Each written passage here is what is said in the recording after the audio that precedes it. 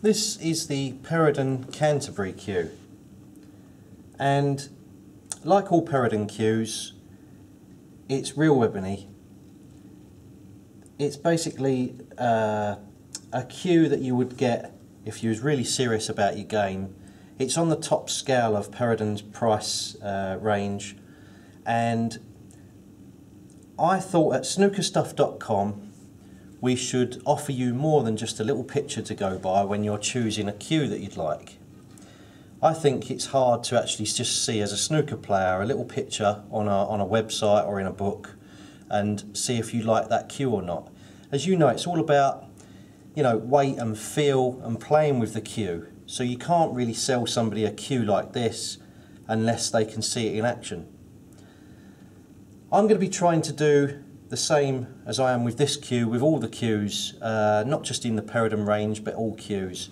Um, I feel it's a much better way to virtually sell a cue as if you were standing there. Basically, this cue is a, a hand-crafted, hand-spliced cue. It's not a machine spliced, it's actually done by hand. The ash on here is kiln dried and is treated with numerous different uh, different ways to keep the cue as straight and as good and flush as possible with no stickiness, there's no lacquer put on these cues. The quick release joints that they Peradon use all the time are of a good source. They don't come undone while you're playing a shot or walking around the table like some of the old quick release joints. Um, all the Peradon range now come with these cues, uh, with these SD joints so that you can use the mini butt and the extensions. I'll be showing you in a separate video. But I think uh, with a 9.5 Elkmaster tip, 9.5 to a 10 is what's advertised. This one is more around about the 10 mil I would think, looking at it. And it comes already shaped for you to play with. So all you have to do is get the cue out of the box.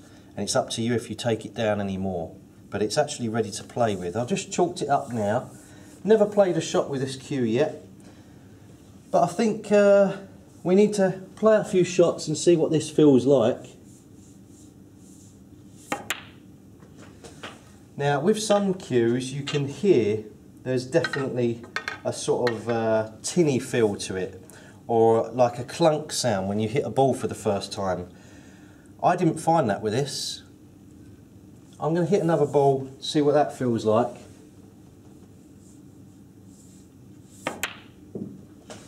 That feels really good. And it's not just because it's a more expensive cue, I don't feel. I just feel that, you know, this one seems to be a cue that's put together really well and I feel that the, the, the weights does change my opinion, certainly on cues. I prefer a heavier weight.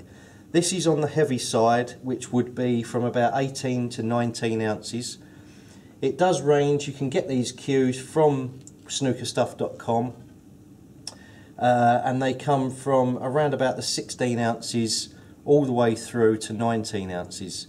So have a little look on there and if you come up with anything from Snooker Stuff let me know and I'll try and get a cue specifically what you're looking for. This was the the Peradon Canterbury snooker cue.